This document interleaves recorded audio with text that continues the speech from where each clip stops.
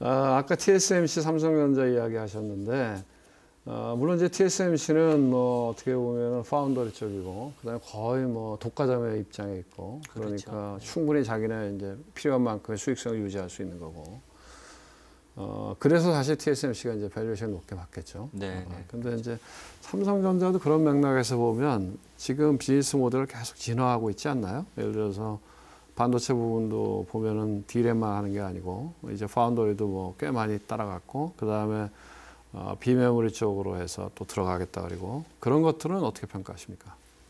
그러니까 뭐 제가 반도체 애널리스트가 아니어서 그걸 뭐 구체적으로 반도체가 얘기하기는 아니라 이제 그런 그 이 주식 투자자의 관점에서 예. 비즈니스 모델이 진화하는 부분에 대해서 어떻게 이제 그러니까 그 노력은 높이 평가를 해야 되고요. 그러니까 네. 그저 비메모리 담당하는 사장님이 제 학교 친구입니다. 아, 그래서 그래요? 뭐 네. 근데 전혀 회사 얘기를 안 하니까 알 수는 없고요. 네. 그런데 어 이제 워낙 TSMC가 그 파운드리 쪽에 네. 워낙 입지가 공고하고 그렇죠. 그다음에 그, 그 부분은 commodity 비즈니스가 아니고 그렇죠. 고객과 진짜 밀착한 그렇죠. 그 서비스에 가까울 정도로 비즈니스인데 그 부분에 있어서는 삼성전자가 자기 실력을 충분히 아직 인정받지 못하는 것 같은데 음. 항상 이 비즈니스라는 게 그렇지 않습니까? 이렇게 수평하게 가다가 어느 순간 물것 같으면 이제 계단식으로 올라가지 않습니까? 그래서 삼성이 거의 IT 분야에 있어서는 마음을 먹은 거에 대해서는 본인이 거의 성취를 했기 때문에 그 이상의 지금 뭐 인력이나 리소스 여러 가지 아, 뭐 지식 정보 또는 축적도 돼 있고 그러니까 제 생각에는 뭐 어, 시간의 문제인 것 같습니다. 근데 그 시간이 생각보다 좀 오래 걸리는 것이 아닌가. 이제 뭐 그런 생각을 해봅니다. 근데 이제 어, 비메모리 사업에 대한 진출도 그렇지만 이제 결국 그 하드웨어 업체로 순수하게 머무르는 것보다는 네. 어느 정도 그렇죠. 어, 그 고객의 데이터를 컬렉트하고 이제 플랫폼화 시키는 최근에 이제 현대차도 이제 그런 시도를 좀 그렇죠. 보이지 않습니까? 자동차를 이제 온라인으로 팔려고 그러고 물론 노조의 저항이 있기는 하지만 그런 면에 있어서는 아직까지 이제 기업 문화 체질을 바꿔야 될 부분은 되게 많다고 생각하고 그 부분은 쉽지 않다고 생각합니다. 제가 어, 실리콘밸리에서 삼성이 소프트웨어 엔지니어를 뽑는 게 얼만큼 네. 가능하냐 그랬더니 어떤 분이 어, 틱톡을 미국의 똑똑한 엔지니어는 가지만 삼성은 안 간다. 그만큼 삼성은 하드웨어 업체로 인식이 돼 있어서 소프트웨어의 전문가들이 그렇게 굳이 선망의 대상은 아니다. 이제 그런 점이 결국 이제 그 좀 숙제인 것 같아요. 근데 시간이 좀 걸릴 것 같기도 하고.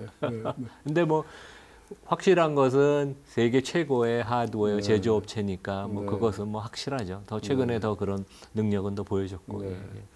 그래서 저는 최근에 볼 때 너무 그 반도체 사이클에 네. 단기적으로는 그게 맞겠죠. 예. 뒤에 메모리 반도체 사이클을 보고 삼성전자를 투자하는 게 맞는데 길게 보면 너무 거기에 이렇게 맞습니다. 어, 이렇게 투자자들이나 시장의 뭐 애널리스트나 거기에 너무 집착하는 거 아닌가. 그 사이클이 이렇게 똑같지만 다시 돌아오고 네, 좀 길게 보면, 예 어, 몇십 년 항상 그러니까. 반복했으니까요. 그리고 그동안에 예, 또 맞습니다. 삼성전자가 계속해서 그걸 예. 극복하고 예, 예. 어, 좋은 회사로 예. 진화해 왔기 예. 때문에 수익성의 하여간 전점 저점 고점이 계속 높아지고 네, 있거든요. 그래서 장기 투자하는 예, 측면에서는. 그렇게 부정적인 네, 네. 것만은 아니다 네, 네, 생각이 네, 들고요. 맞습니다.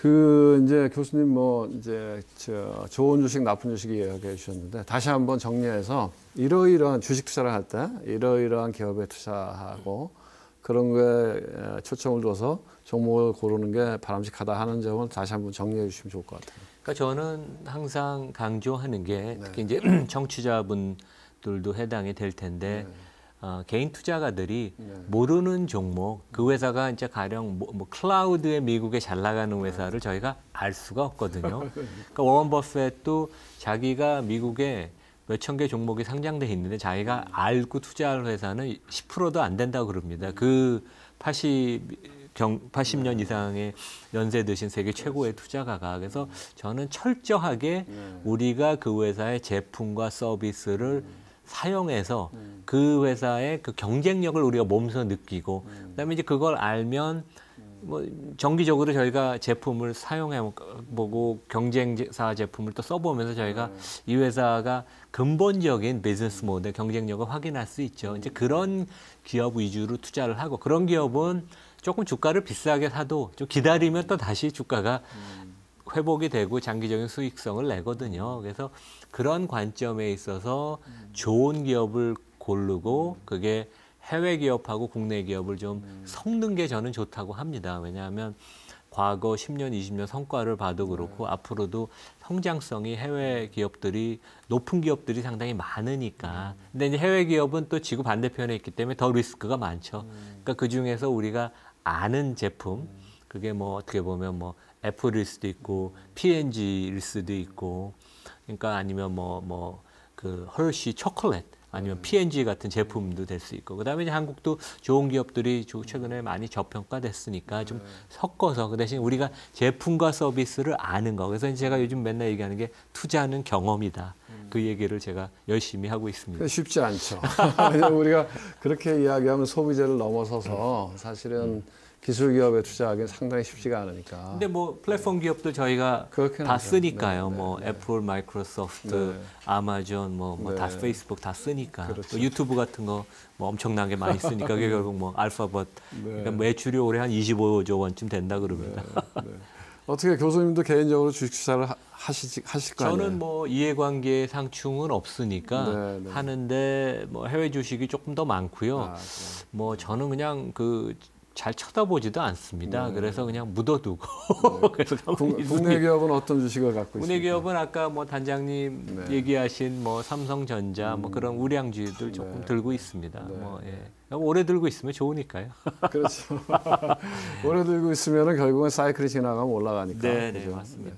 마지막으로 이제 투자하시는 분들한테 네. 시청자분들한테 어, 조언 뭐 이렇게 이렇게 이렇게 투자하면 좀 도움이 될 것 같다 하는 마무리 발언 한번 해주시죠. 네. 그러니까 투자는 좋은 아이디어를 진짜 대박이 나는 아이디어를 고르는 것도 좋지만 아까 말씀드린 것처럼 리스크를 항상 우리가 염두에 둬야 되거든요. 그래서 다섯 종목을 사도 네 종목이 괜찮아도 한 종목이 아주 잘못되면 전체 수익률을 망가뜨리니까 항상 뭐가 잘못될 가능성이 없나 철저하게 주식을 올라갈 가능성도 있지만 잘못될 가능성을 항상 체크해서 그것을 균형 잡힌 사고를 갖고 확인하는 어, 세- 그 자세. 그러니까 이제 그것을 그 체질화 시켜서 내가 항상 어, 염두에 두고 종목을 고르고 시시각각 제품도 써보고 체크를 하고 경쟁사 동향도 살피고 이제 그런 노력이 최소한 필요한 게 아닌가 그런 생각을 해봅니다. 예.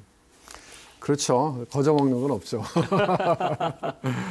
네, 오늘 하여간 바쁘실 텐데 아이, 나오셔서 뭐 오랜 경험에 우러 나오신 뭐 이런 저런 좋은 돈 많이 해주셔서 어, 시청자분들한테 도움이 됐을 거라고 생각합니다. 네, 오늘 와주셔서 너무 고맙습니다. 아이 네. 불러주셔서 감사합니다. 네, 감사합니다. 예, 예, 감사합니다. 네,